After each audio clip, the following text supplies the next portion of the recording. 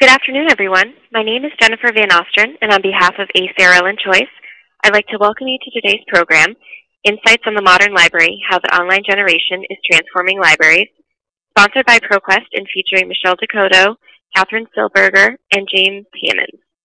Today's discussion is one in a series of sponsored webinars from ACRL and Choice that addresses new ideas, developments, and products of interest to the academic library community Free to users, these 60-minute live presentations provide the opportunity for interactive discussions of important new issues and developments in academic librarianship. Before we get started, I'd just like to point out a few features of the webinar software. In the main area of the screen, you can follow along with the presentation materials. Along the left-hand side, you will see a chat panel that you can use to submit questions or comments. We will spend some time responding to your questions during the program, so please feel free to submit these throughout. You will also see a separate box for technical questions.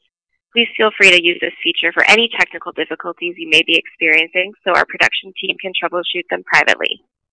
And finally, please note that today's program will be recorded and all registrants will receive follow-up instructions on how to access the archived version.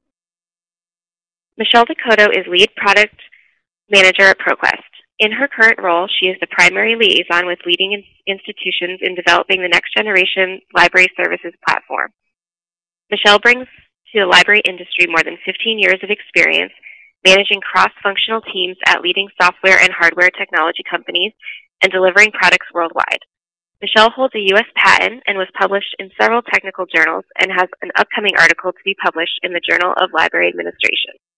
As a professional development instructor, she coordinates an annual women's retreat and has created and taught courses at Lawrence Livermore National Laboratory and Las Positas Community College and at local venues in California. James Hammons joined Ball State University Libraries in 1998, where he is currently head of library technologies. He and his crew mind Intota, Summon, 360 Link, and myriad research databases, the interlibrary loan and library management systems, a data warehouse, and some homegrown applications that support library operations. Kathryn Silberger is the senior librarian at or for digital content services at Marist College in Poughkeepsie, New York. As part of her digital content duties, she manages the collection and analysis of library statistics. Like all librarians at Marist, she serves as a library liaison to several academic departments. She regularly interacts with faculty in her liaison departments. Kathryn has also coordinated the implementation of Intota at Marist. So at this point, we are ready to get started, and I'll hand it over to you, Michelle.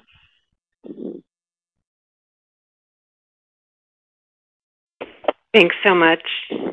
Good afternoon and good morning to those of you on the West Coast. Thanks for taking time out of your day to attend our session. My name is Michelle D'Couto and I'm a product manager at ProQuest Workflow Solutions Group. We develop both librarian and student-facing software solutions that serve students, instructors, and librarians throughout the research lifecycle.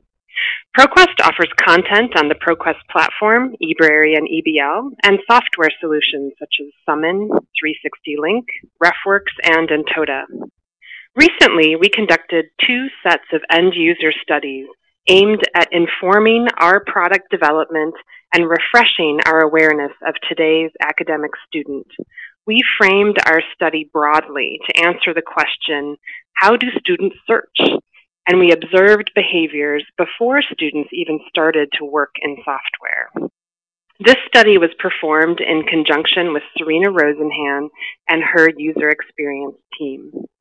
Our work differs from other studies in that we examined the entire research lifecycle. We interviewed students at varying points in their academic journey, and we included faculty and instructor interviews.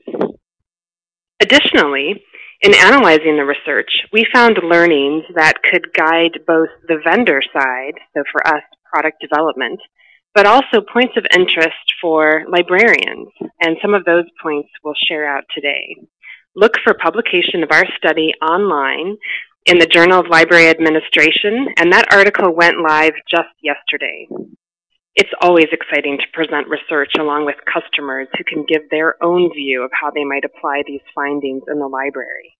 Uh, we are so pleased to be joined by James Hammons, who will talk about the role of discovery and the online generation, and Kathryn Silberger, who will discuss some examples of engaging faculty.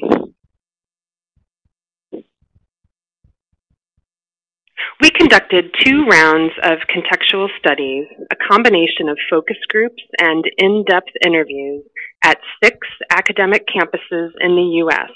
with the goal of better understanding the research process, context, tools, and behaviors of academic researchers. The primary research questions of the initial study were, how do students approach research tasks or coursework? Which resources do college students choose to start their research? And what are some of the current benefits, pain points, and unmet needs that students experience while they're using the available research tools? In our second study, we added a focus on understanding the full research cycle from topic selection to assignment completion, and we included more direct observation of the use of the research tools. We also interviewed university faculty and instructors. We selected campuses that represented a variety of institutional profiles. So we included a community college, two small private four-year colleges, one medium public four-year university, a private research university, which is also an ARL, and one private Ivy League institution. We selected schools that had a large range of electronic journal and database offerings and also had a range of search and research tools. So we didn't go to just institutions and campuses that used ProQuest products, for example. Uh, we interviewed uh, across a large selection. Between the two studies, we held 18 focus groups and 35 in-depth interviews, and in all, we spoke to, uh, to 125 researchers. This group included every stage of the academic career, from freshmen to tenured faculty, and represented a wide range of academic disciplines, business, health, physical sciences, arts, humanities, the sciences, social and political science, law, and engineering. All sessions were 60 minutes and included a facilitator, an observer, and a note taker. And more details of that study are available in our article that was just published. So some of our findings. At the highest levels, we could generally categorize some student pain points. Those are awareness and knowledge. Students were largely unaware or unfamiliar with accessing the vast majority of resources provided through college or university libraries. Another pain point that we observed was training schools varied widely in their approach to library instruction, and students without access to instruction generally struggled much more than those who had some level of orientation to library resources from either a professor or a librarian. Another major pain point was time and efficiency. Time is the primary currency of students, or so they feel, and real or perceived inefficiencies and roadblocks cause students to deem many resources just too costly to use. Students come to college with an expectation of independent, easy, and efficient access to information. With this expectation um, comes the sense that they can find things quickly, when the expectation of easy and efficient access to information comes against the demands of the academic research task, we observed several behaviors that attempt to satisfy and balance attention. The most commonly observed behavior is the use of Google in concert with library resources.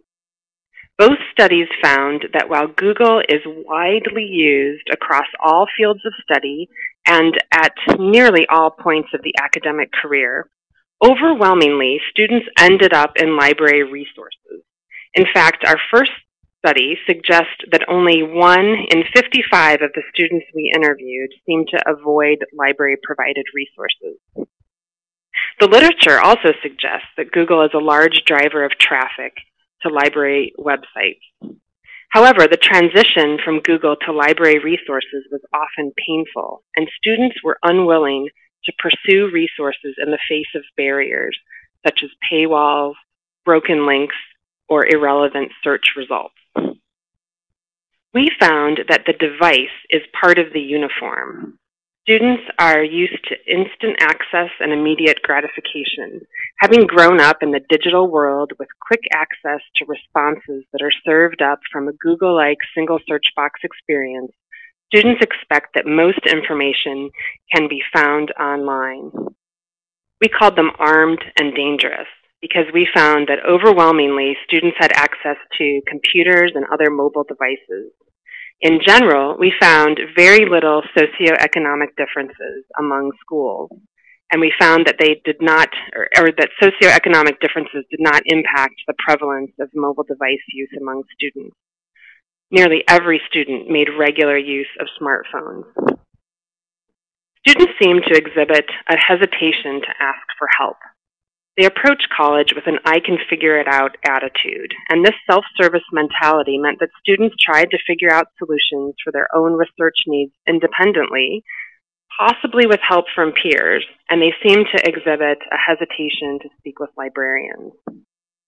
Students often started in Google, but overwhelmingly we found that they ended up in library resources. They are using the library, they're using it differently, and the transition from Google to library resources was often painful. Here's one quote from one of the students that we interviewed. So what are some of the influences on research behavior? We found overwhelmingly that faculty instruction was a primary influence on choice of research tool by students. Professors' requirements for assignments both directly and indirectly influence the resources a student chooses for search. When instructors demonstrated or directed students to use specific library resources, students were unlikely to seek out alternatives. So the influence of the professor was extremely sticky in our findings. Faculty that we interviewed overwhelmingly seemed to want their students to access and use scholarly resources. They often worked in partnership with the library, and from our observation, held the library and librarians in high esteem. You can read more about our research in the Journal of Library Administration. That online article was published just yesterday.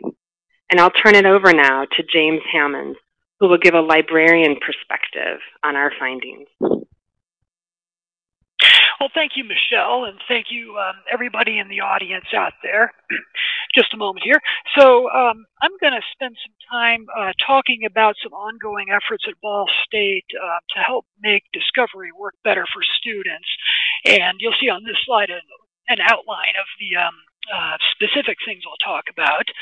Um, in one of the polls that was up on screen um, at the beginning of the presentation, um, I could see that uh, upwards of 85% of uh, your libraries offer some kind of uh, single search box experience uh, to students. Um, at Ball State, we actually have two library websites. Uh, one of them is a marketing website, more or less. Um, it's part of the university's uh, content management system. Um, but we also have uh, the website you see in front of you, which we call the Student Research Resources page. And the idea here is to uh, make the um, experience feel uh, familiar uh, to students who are used to that single search box, while also funneling uh, the students to the uh, most important online services um, is you know sort of shaped by this tab display, which is also probably familiar to a lot of libraries. And so the you know, resources we've uh, um, you know, forefronted here, at OneSearch, which is the name we've locally given to uh, the Summon web field discovery um, service uh, from ProQuest, CardCat, which is our OPAC, uh, Dynix system. Um, the, the other, uh, which also offers a single search box um, into um, into that resource. The eJournals uh, tab and the subject guides, which is our LibGuides uh, instance, also have a single search box. Uh, the databases, which is really you know sort of your standard list of a couple hundred subscription databases, is more or less a navigable uh, list of databases. Um, so it really didn't merit a search box um, per se. But um, you know we sort of helped shape the um, student's user experience using this very familiar interface. Um, also, you know, responding this, to the sort of demand for uh, mobile um, compatibility. Um, we have had, um, again, an ongoing effort here, um, starting really with the last time we uh, redesigned our mobile website. Um, on the graphic on the right shows you what our mobile website looks has looked like since uh, fall of 2012. Um, the really, it, it might use a refresher at this point. That's that happened to be an interface that was actually pretty popular with uh, at the time, and uh, certainly popular with some um, a lot of mobile apps. Um, the um, we've also uh, done some work with responsive design. Um, um, we've developed um, several custom mobile-enabled tools locally, which I'll show you examples of, and uh, we also curate uh, a list of mobile-friendly research tools with the idea that you know essentially we're you know supporting um, kind of favoring vendor platforms that serve mobile users well. Um, now, um, kind of as an indicator of how we have been doing uh, serving uh, students' demand for you know, a mobile interface to the library, I've sort of cherry-picked uh, some usage stats um, since fall 2012, um, showing usage the first month of school for each year. Now, the reason I, I picked that particular month out is we've got students arriving on campus, and to what extent are they seeking out a mobile library presence? Um, you can sort of see that, um, you know, fall 2012, 2013, we were getting pretty pretty similar numbers of users, while the, you know, numbers of sessions, you know, which I guess could be a benchmark for repeat visits. Uh, but then we had a big jump in fall of 2014. Now, a couple a couple ways I interpret that. First of all, um, we are just sort of seeing an increase in that expectation that the library will provide a mobile presence. Um, secondly, um, and uh, really not coincidentally, uh, during 2014, uh, the Ball State campus launched a uh, mobile app um, for a gamut of student services, and they invited us to um, jump on board with that. And basically, what our our presence on the university mobile app is a link to our our mobile website, and so we saw saw definitely an increase in visits, um, which we could attribute to being part of that campus effort. So a, a lesson I draw from this is um, it was definitely a good thing to go ahead and build this. Um, and one other thing I'll point out, this, this is really the third or fourth iteration of our mobile website. Um, we had um, a couple previous iterations that frankly weren't as well maintained. Um, and the user experience, I don't think was nearly as good as what we currently have. And we also had a Boopsie library app. Uh, the Boopsie app was up for about a year and a half, and frankly, it never really took off.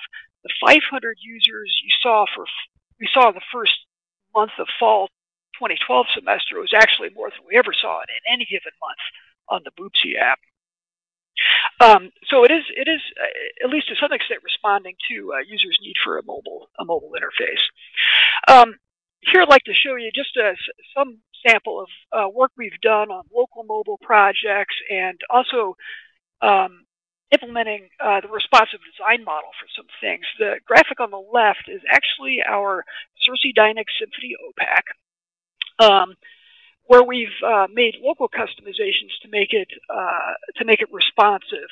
Now, responsive design, if uh, that's if that's a new term for you, basically that um, uh, enables you to build a website using the same code, regardless of what type of device somebody is using, but also makes the um, uh, layout of the content uh, responsive to the uh, size of the, of the screen that a user is using.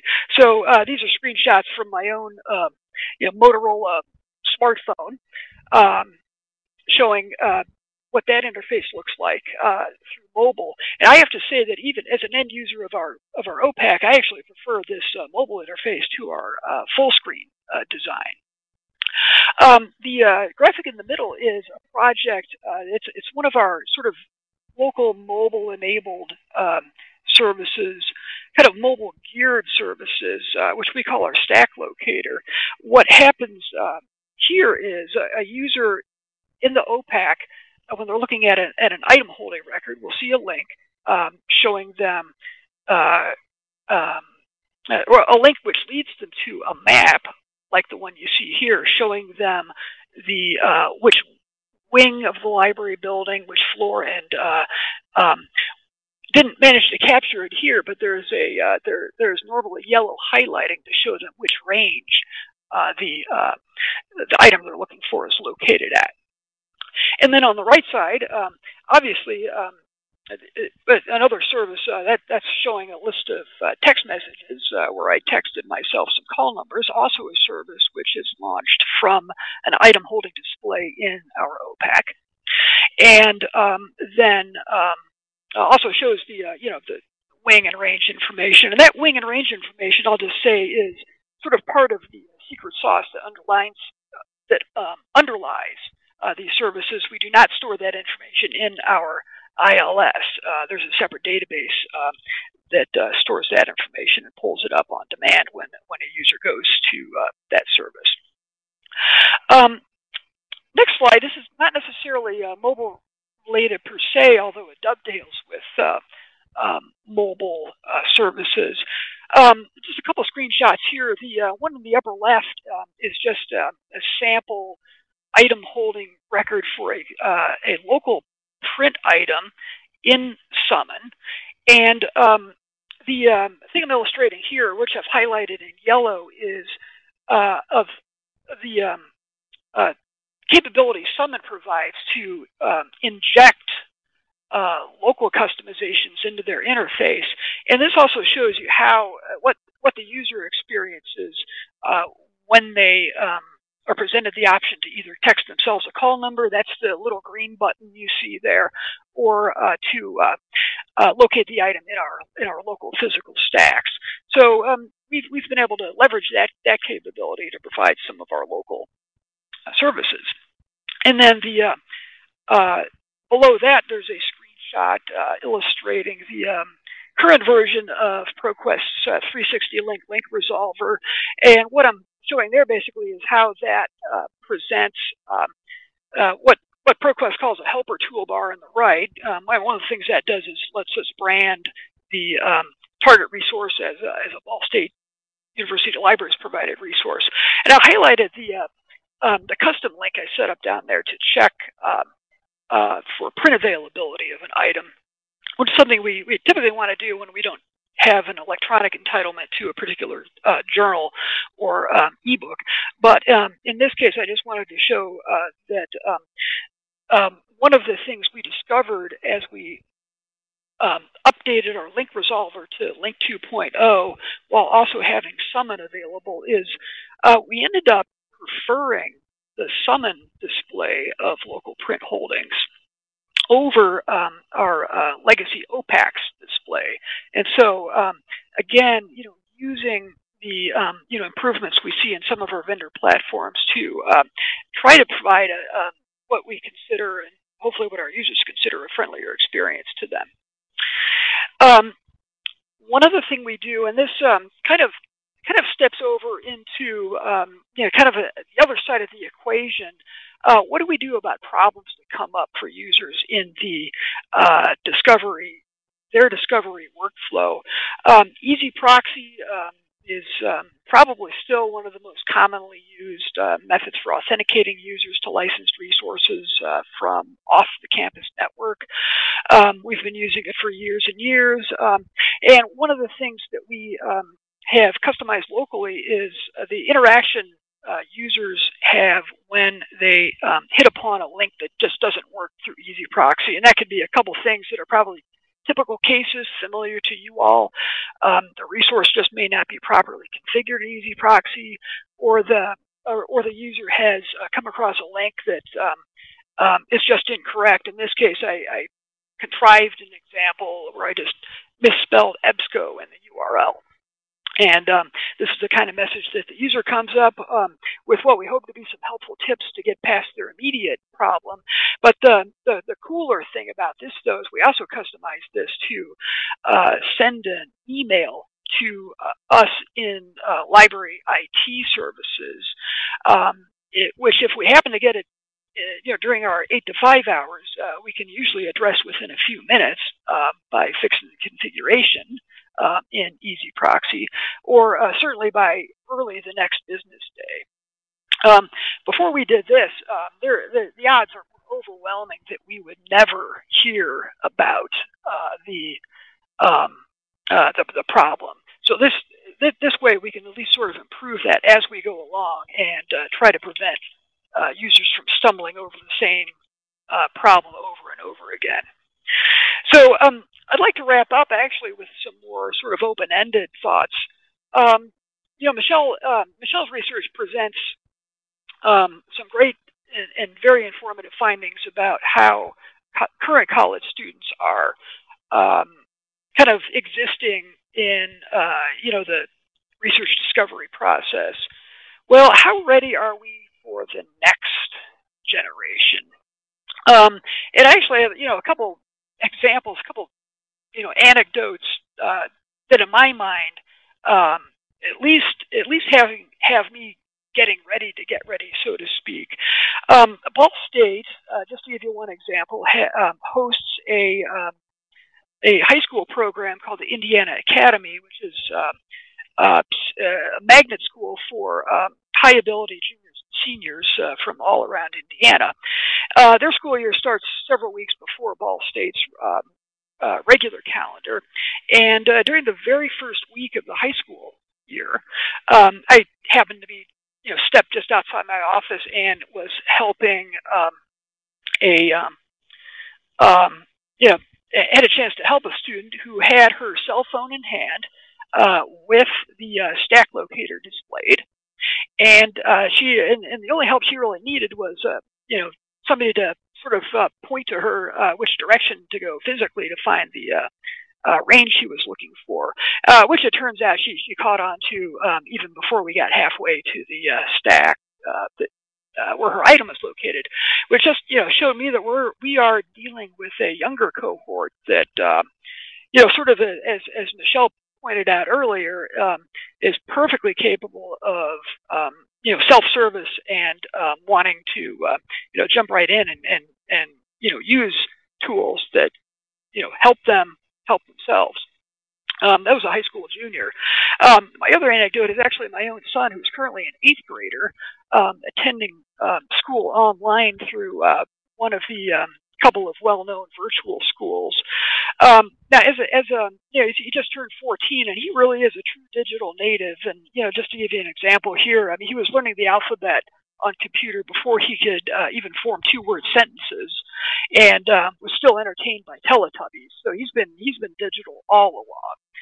Um, he has absolutely no use for printed textbooks or um, you know, educational materials at all. Um, possible exception, he might print out a worksheet if he has to do a science uh, experiment at home or something like that, so he could follow his directions um, or take notes.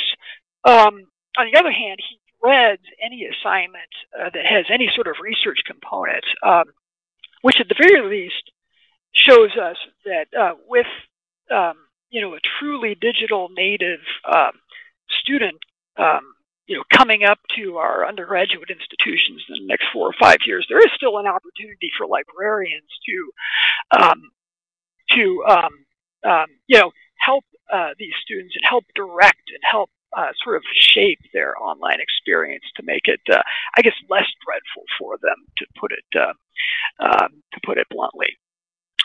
Um, and with this, um, I think I will um, go ahead and turn it over to Katie for her her uh, presentation on um, her outreach with uh, faculty. Okay, thank you, Jim. That was very interesting. Um, as Jim said, my name is Katie Silberger, and I'm the Senior Librarian for Digital Content Services at Marist College in Poughkeepsie, New York.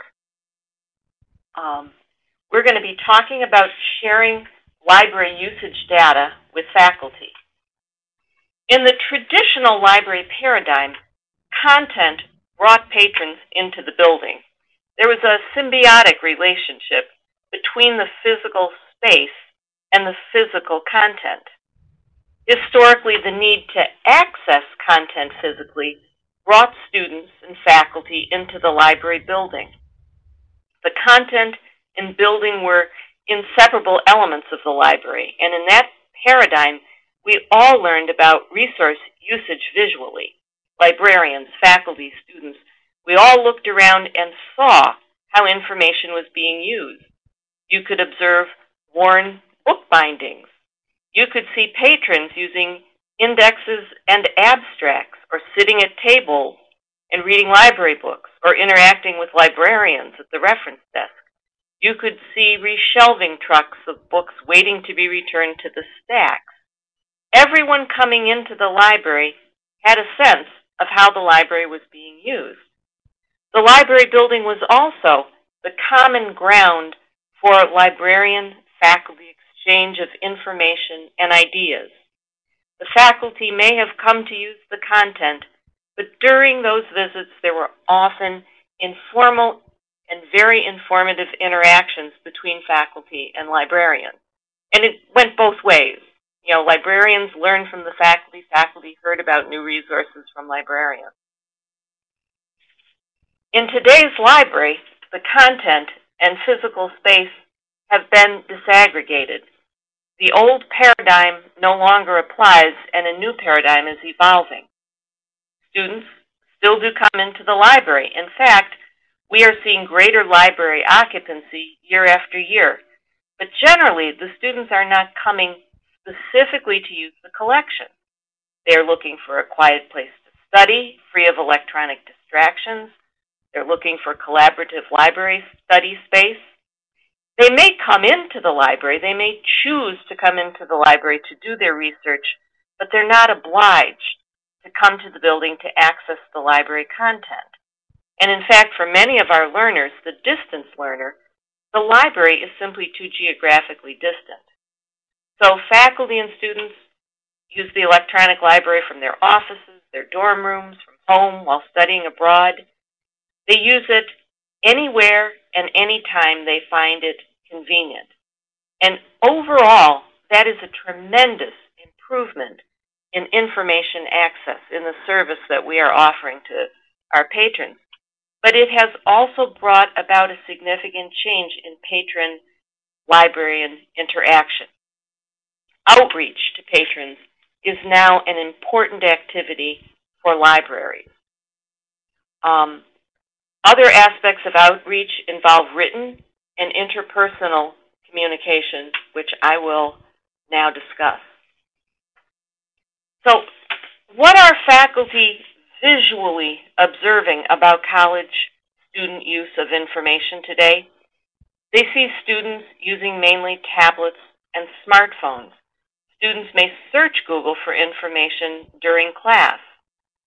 And certainly, Michelle's research indicated that Google is a, and other search engines are a very important part of a college student's information um, seeking uh, habits.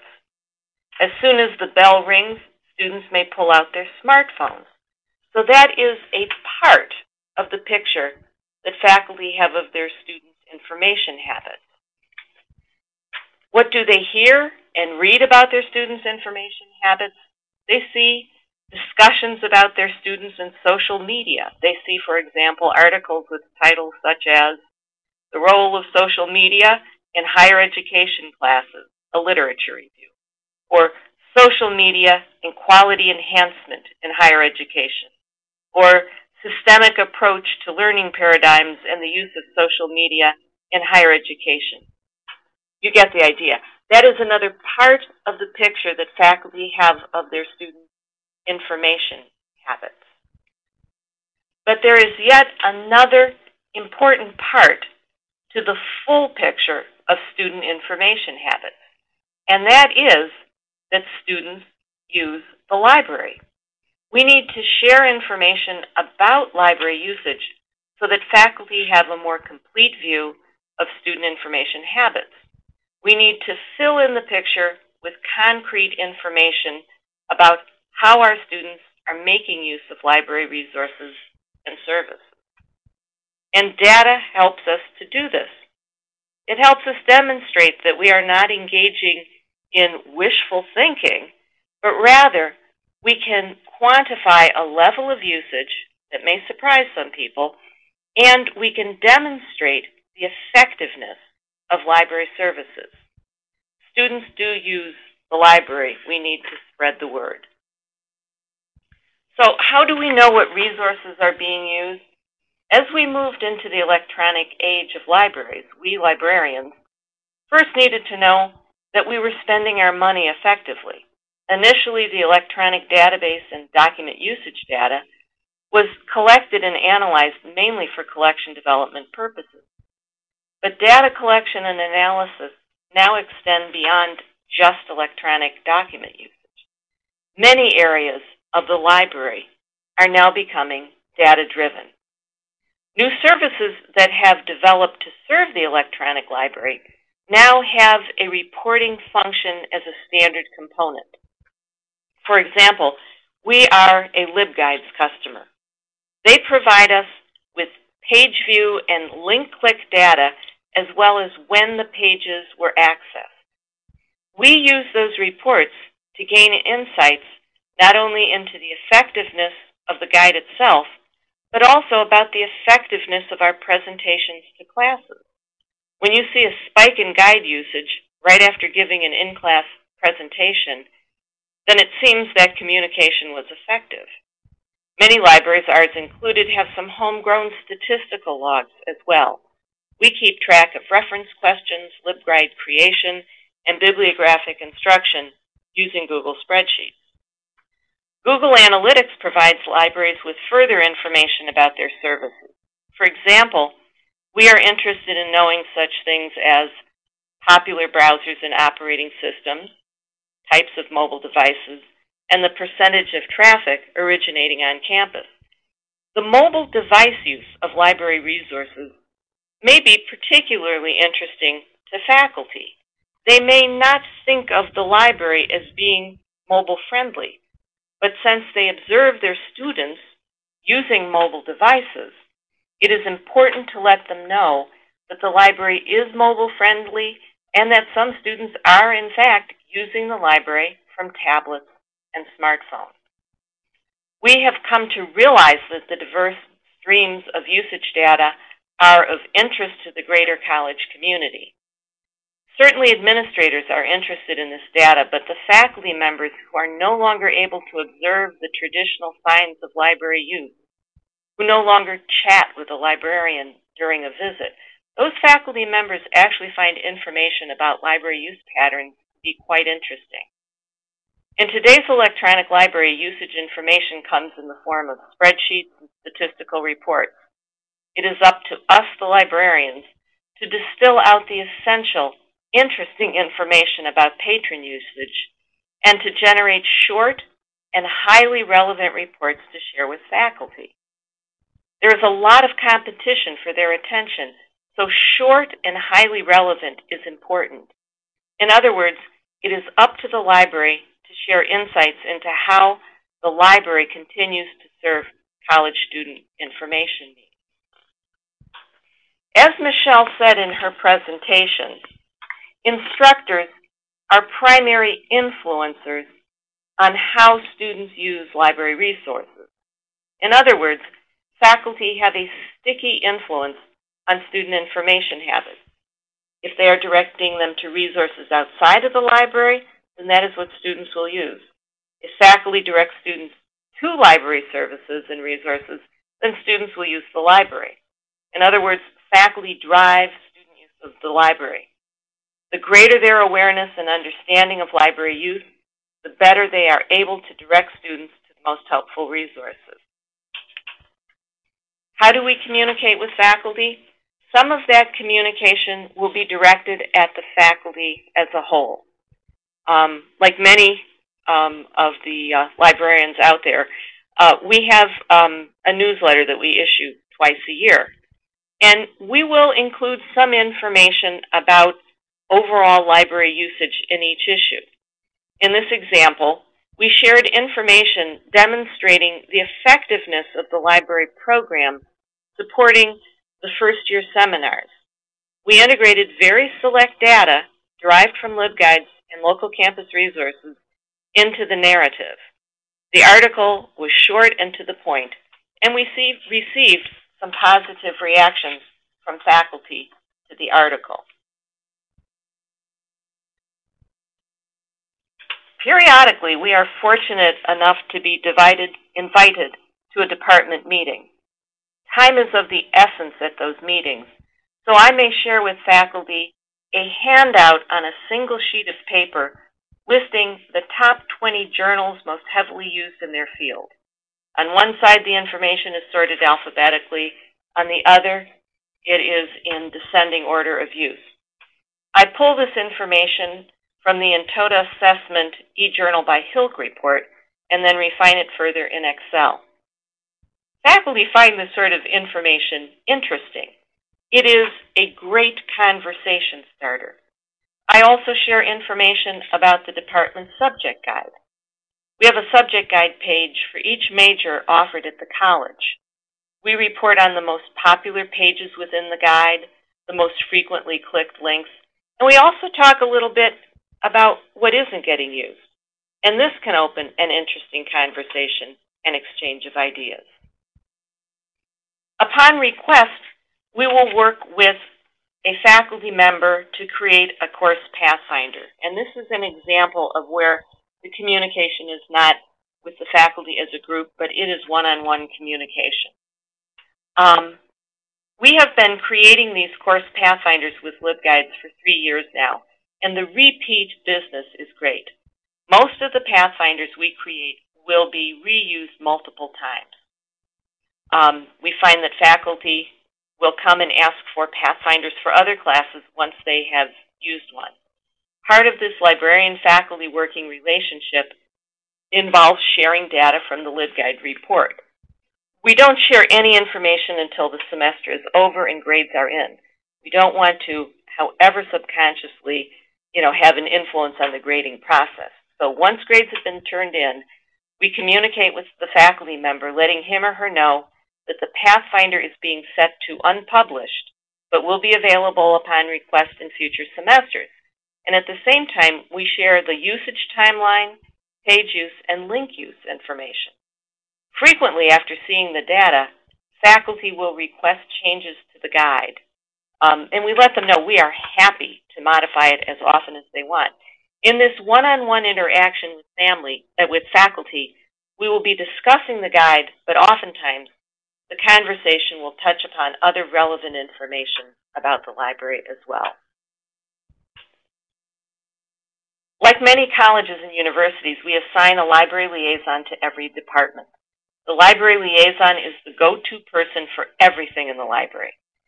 Some of the contact is librarian initiated and some of it is faculty. Sharing the wealth of usage data with our fellow librarians, providing them and providing them with access to the data and awareness of trends is essential. We maintain an internal private blog for our librarians through which we share information. We can post reports there, etc. For example, I regularly post the top 50 Summon searches of the past week. We share information about heavily used journals and databases, the geographic location of our users, to give a sense of what's happening with distance populations, and we summarize trends of library services. Some of the most valuable interactions with faculty are unexpected. Um, the liaison, having the liaison well-informed helps whenever they interact with faculty because these are wonderful opportunities to talk about library resources, services, and trends. So sharing this data with librarians is essential so that they can be most effective in the unplanned meeting. So we have just prevent, presented a few ways in which the library can engage with students and faculty, um, both through software and through um, direct contact. Um, faculty um, communication is happening in libraries all over the country, and uh, we hope you found this presentation of interest. Thank you. Thanks so much to James Hammons of Ball State University and Kathryn Silberger of Marist College. I'd like to invite you to chat in your questions. We've got time for questions and just fantastic uh, to hear from librarians. So this is a great opportunity for information exchange. Go ahead and chat in some questions. We do have one uh, question here all queued up. This question is uh, from San Antonio. students will search Google on their phones, but do they search library databases, business data sources, e-journals? Um, they don't seem to do it at this particular institution. And so I'll ask that question first of uh, James Hammons, and then I have an anecdote to, to add to that. Go ahead, Jim. Yeah, sure. Well, my, my naturally my ability to answer the question is limited by the data I have available uh, in terms of usage, but fortunately we do have um, Google Analytics tracking usage of um, a couple of uh, resources that uh, fall in line with this question. Um, you know, looking at Summon, which uh, is our web scale discovery um, service, um, I'm seeing that for the for the previous 30 days um, this uh, fall, um, about five and a half percent of all sessions in Summon are being done from mobile devices. Um, that breaks down to uh, 3.5% using handheld mobile devices and 2% um, using tablets. So um, that's sort of mid-single digit um, usage. Um, that's pretty typical, I think, for a, a yeah, compared to what we've seen over over several years. But I think it does show um, um, some significant ongoing demand. Um, what I do see, though, is that engagement tends to be um, a bit more um, sustained on a desktop device, which um, would also include a laptop. Um, users seem to be spending about four minutes when they're in Summon when they're using their mobile device, and twice that long when they're using a desktop device. Um, looked at one other resource, uh, CardCat, which is uh, the name for our OPAC. And uh, this actually surprised me. Um, it looks like 10 and a quarter percent of sessions in the OPAC are being uh, done from mobile devices. And of that, the breakdown is 8% handheld and uh, two and a quarter percent tablet. For some reason, tablet usage seems to be declining.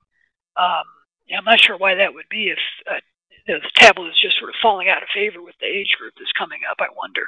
Maybe, maybe bad news for the tablet makers. But um, but mobile device uh, usage is actually increasing compared to uh, last year. It's up 13%, whereas overall usage of the OPAC uh, um, is declining. It's, it's declined 3.5%. So, um, so students are um, sort of increasing their use of a mobile device to search the uh, to search the catalog, and really to search both both of those resources, even if even if the overall percentages are still fairly modest. Fantastic. Thanks, Jim. I have an anecdote to add to that. So um, in one, one conversation with a student, I heard of a case of an institution on the East Coast who, upon finding that medical students were using Google on their mobile phones, conducted a workshop. This was a library that conducted the workshop on research and got students set up to use library resources from their mobile phones. Um, so that's my anecdote. Go ahead and chat in questions. We're just fielding a couple here. We had a question around percentages. Um, I would have to consult our summary for me to give percentages of students using tablets as opposed to smartphones and laptops from our studies findings. I don't have those numbers handy. I think Jim just gave uh, some information from Ball State. And then we had some questions on the article. So as far as I understand, this article is published um, as an open access article in the Journal of Library Administration. It just went out yesterday, and it's How Students Research, Implications for the Library and Faculty. If you have trouble accessing that article, I'll post my uh, email address um, in the chat, and we can figure it out if I can get you a, um, an open access, uh, easy to find link I would be happy to do so. So I'll post my email address in the chat just shortly. Um, and then we've got some questions around the decreasing number of tablet users as related to the increasing size and ability of smartphones.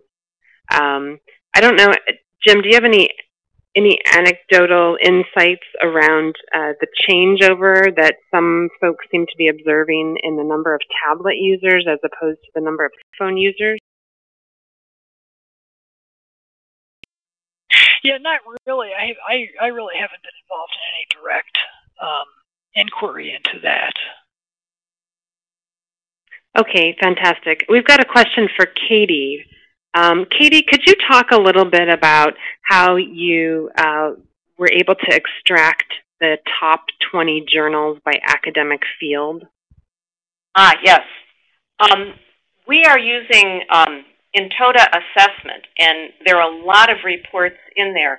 But one of them will give you journal usage by HILC, which is, um, oh, I, am not sure I can get the whole name of it out, but it's it's a subject listing scheme for um, uh, for journals. So we will start out with the language and literature HILC category, and I customize it a little bit knowing what the interests are at our institution. But um, basically, I use that, and then I just pick out the top 20 um, most heavily used journals. And it's a it's a simple little thing, but um, it's it's surprising how people like to see that information.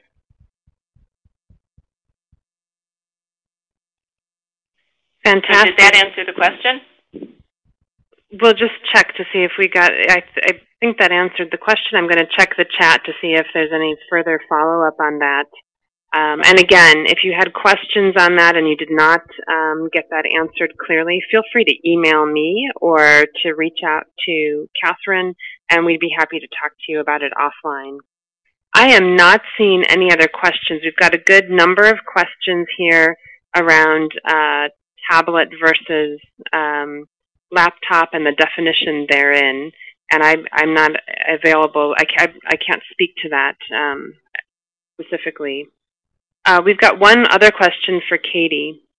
Is it possible for any of us to see some of the faculty course LibGuides? I think we've got some folks who are interested in how you've got those set up. Okay, well, what they are is they're LibGuides that we have developed with, with faculty. So if you go to the Marist um, library website, um, we have things categorized by either course pathfinders or subject guides. So the subject guides are ones that we have put together to serve a department. But the course pathfinders, when you click on the link for course pathfinders, what you will see is the they all begin with the um, registrar's designation for the course. So we divide them up um, according to department, and then students locate them by the registrar's um, designation. So they are aimed at students, but they are created in collaboration with the faculty. And oftentimes faculty will also link them into the course management system. And we will do anything that they want us to do. I mean, there's a broad variety of requests that we get. Some people want something that is equivalent to electronic reserve, and that's, that's great. That is helpful. In other cases, they will have described an assignment that students need to work on, and we will link the databases that are going to be most helpful for that assignment so that it, its effect is to focus students' attentions on the databases that are really going to um, work um, for that particular assignment. So yeah, go to our website and, and take a look, and you can email me um, later on if you have any questions. And then we've got a question for James. Is the print item locator you use in Summon part of 360 Link, or is this an in-house customization? Yeah, thanks for that question. Um, it is um, an in-house custom application, um, and um, I can uh, provide my contact information in the chat if uh, people would like to know a lot more detail about that. But it's basically um, uh, built uh, with PHP and MySQL. Um, there's also a, an administrative backend where the uh, man, our, our, library stacks manager um, can um, track where, um, you know, what, basically what call number ranges are, are on each uh, shelving area. Um, and that's really what drives the, um, you know, location uh, feature of that. and we, as, as I pointed out, we've been able leverage this for a couple of different functions. There, there are even others that I won't get into because they're really sort of backroom uh, operations. Uh, but it is um, standalone, um, but it is uh, sort of set up to operate um, as part of um, really any user interface we put out there that presents print holdings. Does that, does that answer the question? Yeah, we'll see if we get a follow-up in the chat. Um, just as a quick time note, I think we've got time for just about two more questions. We often uh, take these offline, so we get a printout of the questions and we can follow up with you afterwards as well. One question um, could be essentially sort of summarized in there's been a good number of studies that uh, that really have researched and looked into student research behavior. Uh, now what? And so I think to that, from our view, I think uh, we're investigating some of the faculty behaviors, as an example, you know, really digging into what university professors and instructors are doing in um, in their day-to-day activities around search and research and other tools. Um, so that's another avenue that I think makes a lot of sense to explore. I think it's always great to reach out to the end user. I think the end user, uh, their behavior is changing, and our users are coming from um, from high school and with changing habits. So it's always important to, to touch in on how users are behaving I would be very interested also in investigating how middle school and high school students are taught to search and research to get a picture of the tools that they use, um, perhaps complementing some of the work of Alison Head and others who have looked at preparedness for uh, college and university level coursework. I think that would be a very interesting uh, place to conduct some research. I've got a question for our panelists. Uh, we've got a question that came in. Each resource and service we offer has its own data that could be leveraged to have conversations with faculty, students, and administration. Have any of you found a good way to aggregate or combine some of the different analytic data to present a holistic picture of that virtual library environment? Wow, that is that is a really good question um, because I think it is daunting that there is there there are so many data streams that we're dealing with, um, and one thing I worry about is overloading people with information and not having them. You know, it just it becomes too much to really um, consider. So we oftentimes will pick out um, a trend and and focus on that and perhaps give some evidence of why we think the trend is happening. Um, one thing that we're very pleased to see happen, uh, since we became very involved with the first year seminar experience, um, we're able to document how much interaction we had with those classes. We had a very high level of participation. It was voluntary on the part of the faculty, but I mean, it was just tremendously high. And we have seen reference statistics going up uh, semester after or year after year.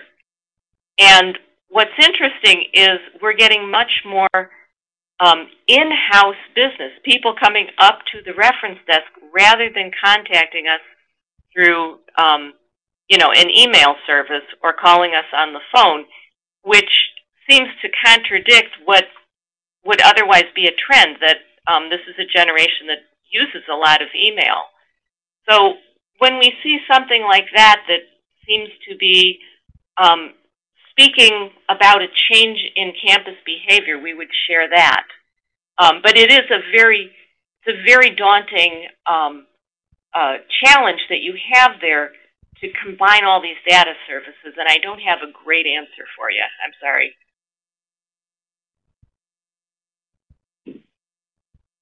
Okay. Any comments from James on that question?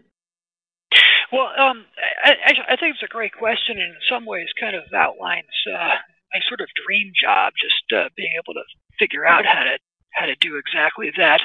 Um, at Ball State, I think to be honest, we've probably only done this for pieces of the overall virtual environment.